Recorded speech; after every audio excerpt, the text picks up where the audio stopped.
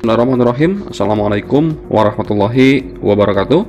Halo rekan-rekan semua Kembali lagi bersama kami Channel Sahabat Digiprint Baiklah pada kesempatan kali ini Kami akan berbagi eh, informasi Yang datangnya dari eh, Badan Kepegawaian Daerah Di antaranya adalah BK Provinsi Jawa Barat Dan juga eh, dari BKD Provinsi Jawa Timur ya.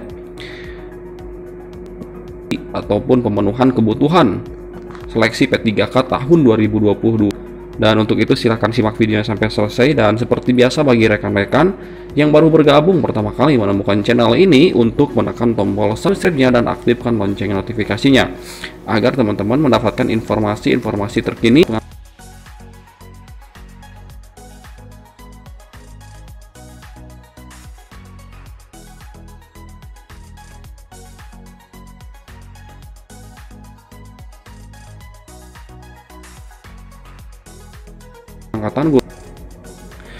Baiklah teman-teman, dilansir dari BKD Provinsi Jawa Barat.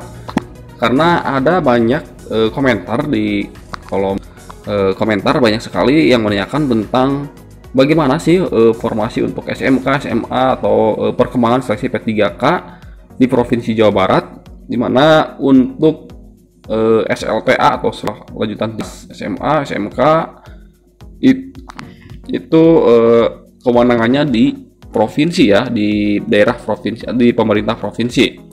Nah, ini ada salah satu sinyal yang positif yang dilakukan oleh uh, audiensi Forum Guru Honorer Lulus PG P3K yang ada di Provinsi Jawa Barat ya. Bahwasanya uh, audiensi ini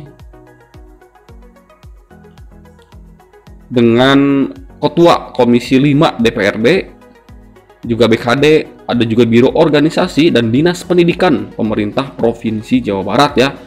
Kegiatan audiensi Forum Guru Lulus Passing Grade P3K bersama Ketua Komisi 5 DPRD, BKD Biro Organisasi dan Dinas Pendidikan Pemerintah Daerah Provinsi Jawa Barat dilakukan eh, pada hari Jumat kemarin.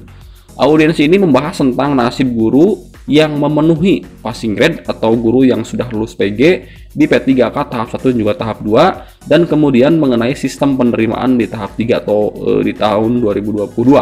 Semua aspirasi ini yang menjadi keputusan pusat Kemendikbud ditampung terlebih dahulu untuk disampaikan dan dijadwalkan oleh Disdik selaku unit pembina bersama dengan perwakilan untuk menu, untuk menemui Kemendikbudristek selaku instansi pembina. Seperti yang kita ketahui bahwa jadwal untuk Eh, sosialisasi atau rapat koordinasi untuk pemerintah daerah Provinsi Jawa Barat nanti ya pada tanggal 27 Juni. Dan ini adalah salah satu tindak lanjut ataupun e, mereka harus membawa data ya. Guru lulus PG dan juga guru yang belum lulus PG ya. Sehingga nantinya formasi akan dipetakan dan disesuaikan dengan guru sekolah induk yang ada guru lulus PG-nya teman-teman ya. Itu hasil audiensi yang dilakukan oleh BKD Provinsi Jawa Barat e, berkaitan dengan ini ya audiensi Forum Guru Lulus PG dengan Ketua Komisi 5 DPRD, BKD, Biro Organisasi dan juga Dinas Pendidikan Pemerintah Provinsi Jawa Barat.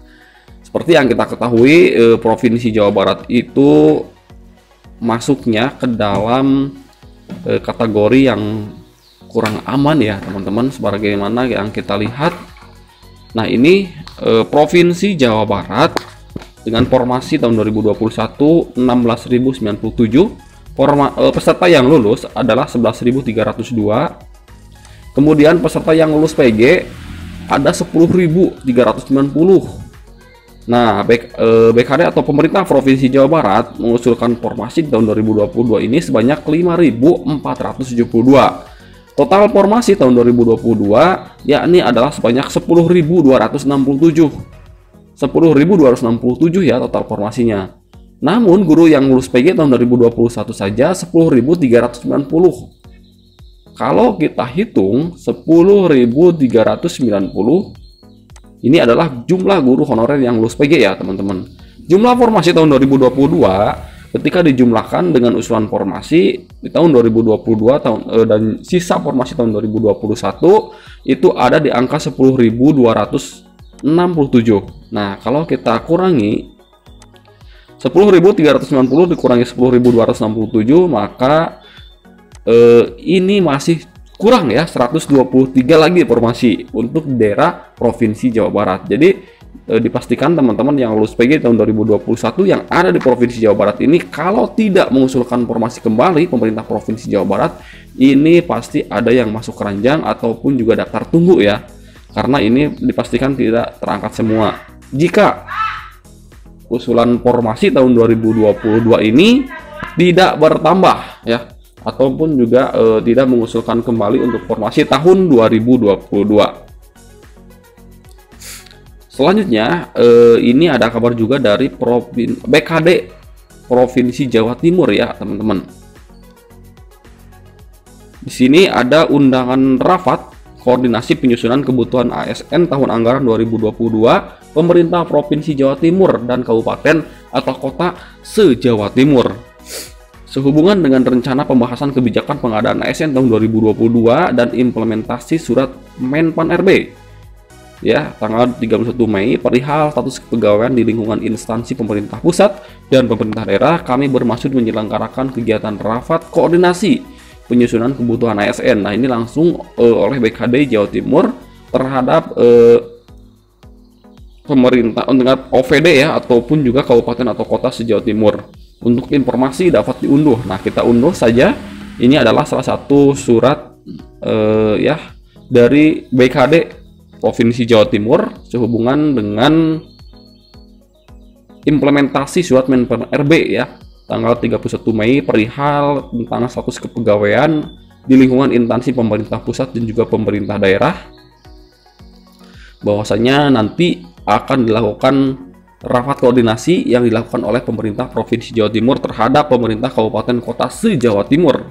Pada hari Senin tanggal 27 Juni tahun 2022 eh, tempat di Hotel Grand Dalfam Signature Surabaya peserta yang terdiri dari Sekda Kabupaten Kota se-Jawa Timur perangkat daerah di lingkungan Provinsi Jawa Timur dan BKD atau BKPSDM atau BKPPD Kabupaten Kota se-Jawa Timur Sehubungan dengan hal tersebut, kami mohon Bapak Ibu berkenan menghadiri kegiatan tersebut di atas dan mengikut sertakan pejabat-pejabat yang membinangi perencanaan SDM.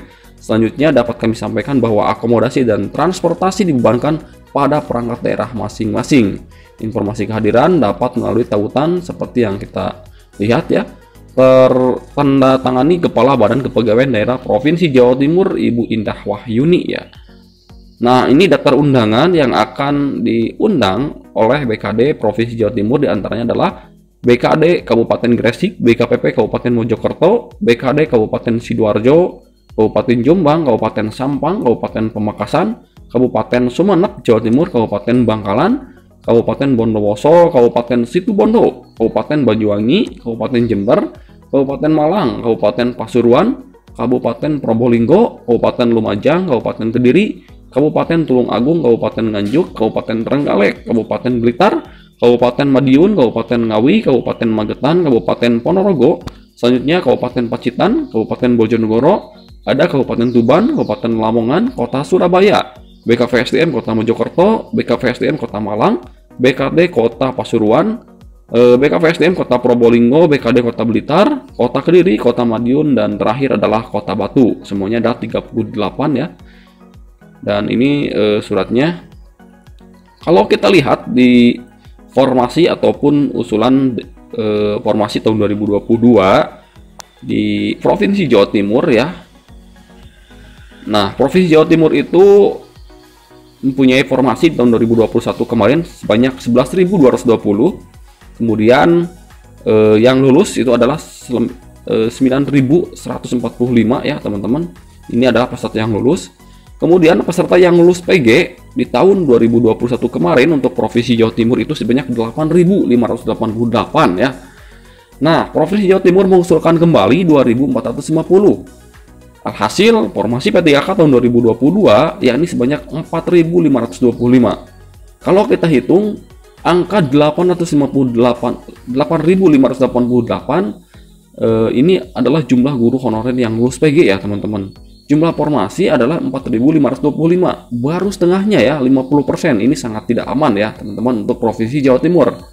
Kemudian eh, Kabupaten Mojokerto, Kabupaten Jombang, Bojonegoro, Lamongan, Madiun, Kabupaten Ngawi, Magetan, dan Kabupaten Pacitan, Kabupaten Kediri, disusul dengan Kabupaten Nganjuk, Tulung Agung, Trenggalek, Lumajang, Situbondo, Pamekasan, Sampang, Bangkalan, Kediri, Kota Blitar, dan Kota Batu itu adalah salah satu eh, daerah dengan kuota formasi lebih kecil daripada peserta lulus PG. Hasil ini daerah yang eh, tidak aman ya di Provinsi Jawa Timur dan nantinya teman-teman guru lulus PG ini e, mungkin tidak ada semua. Terlebih di Kabupaten Bojonegoro ada 1130 guru honorer yang lulus PG, teman-teman. Sisa formasi di Kabupaten Bojonegoro hanya 8. Nah, ini sangat-sangat tidak aman ya, teman-teman. Kalau kita lihat di Kabupaten Bojonegoro ini sangat tidak aman. Guru honorer lulus PG itu hampir 100% ya atau 99% eh, ini tidak bakal diangkat jika tidak ada usulan formasi lagi untuk menyesuaikan jumlah guru honorer yang lulus PG ini. Namun kita lihat eh, ada juga di di provinsi Jawa Timur eh, yang aman ya teman-teman. Nah ini daerah yang aman di Kabupaten Jawa Timur di antaranya adalah Kabupaten Gresik, Sidoarjo, Tuban, Ponorogo, Blitar, Kabupaten Malang. Kabupaten Malang ini eh, aman ya teman-teman. Jika kita lihat adalah jumlah guru honorer 1424 jumlah formasi 1616 nah jika kita hitung ini ada perbedaan atau 200 orang ya. Ini sangat aman. Kabupaten Pasuruan aman ya. E, Probolinggo Bondowoso kalau kita lihat ini di Probolinggo ada 135 ya guru honorer yang lulus PG nya jumlah formasi 1633 ini sangat banyak ya teman-teman. Sangat aman Kabupaten Probolinggo Kabupaten Jember, Kabupaten Banyuwangi sangat aman. Kabupaten Sumeneb sangat aman. Kabupaten Surabaya hampir lah, hampir-hampiran ini sangat aman ya. Kota Malang, Kota Madiun, Mojokerto, Pasuruan, Probolinggo eh, ini adalah provinsi Jawa Timur ataupun kabupaten atau kota yang aman ya teman-teman. Nah untuk lebih jelasnya teman-teman bisa download nanti kita bagikan di link deskripsi untuk daerah dengan kuota formasi lebih besar dan lebih kecil dan juga eh, daerah yang tidak mengusulkan formasi di P3K tahun 2021 kemarin. Mudah-mudahan bermanfaat. Dicukupkan infonya. Wabillahi taufiq hidayah. Wassalamualaikum warahmatullahi wabarakatuh.